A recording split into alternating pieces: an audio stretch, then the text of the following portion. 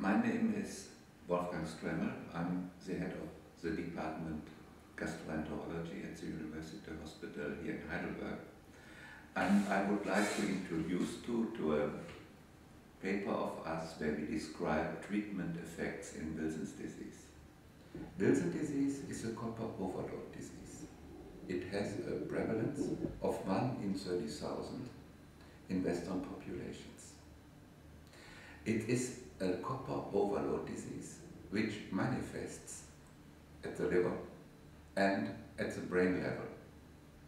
In the liver, it causes liver injury with the clinical manifestations uh, ranging from fulminant hepatic failure to chronic hepatic failure as we see it in cirrhosis. The movement disorder is a manifestation of the neurological manifestation of the disease. The disease affects children, young adults, and it has normally, without any treatment, a bad prognosis.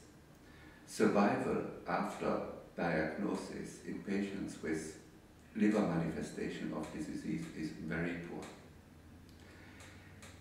However, there is no causative therapy available. The only therapy which we can offer to the patients is a symptomatic treatment to relieve them from their copper burden. We want to achieve a negative copper balance. Now we have two options to achieve that. First, we use chelators, copper chelators. They were introduced by Dr. Walshe in the 50s and 60s. It's first D-penicillamine, which is very effective but has some side effects. For example, autoimmunity, like nephritis and polyneuropathy.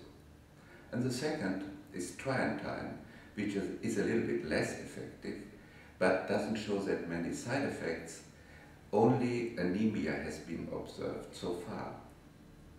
And the second option is the introduction of oral zinc preparation. This was introduced into medicine by Dr. Hoogenraad from Belgium. Zinc induces in the mucosa the accumulation of copper binding proteins, thus the absorption into the organism is impaired. This is not a very effective therapy, but it has no side effects, despite dyspepsia.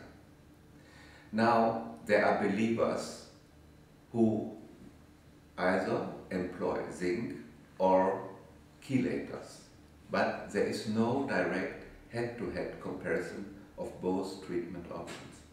And this was the aim of the present study, to objectively assess the efficacy of both different treatment options in Wilson disease in a retrospectively organized study in a large cohort of Wilson disease patients from Germany and Austria.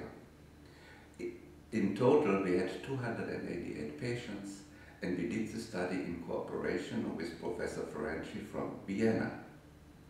Our main outcome parameter was treatment failure. We studied three groups. First, patients with chelator therapy.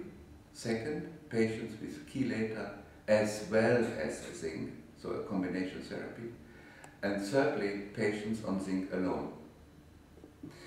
And treatment failure was defined as elevation of liver enzymes, twice the upper limit of normal, by GGT, AST, and ALT.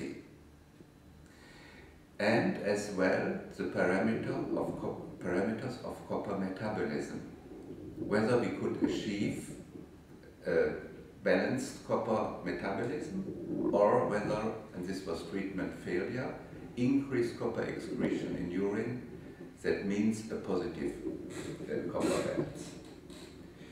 Now, in this picture it is shown patients on chelator on a or on a combination therapy, chelator and zinc, they do very well. They don't show or almost don't show treatment failures. In contrast, patients on zinc alone showed treatment failures in about 40%. What are the implications?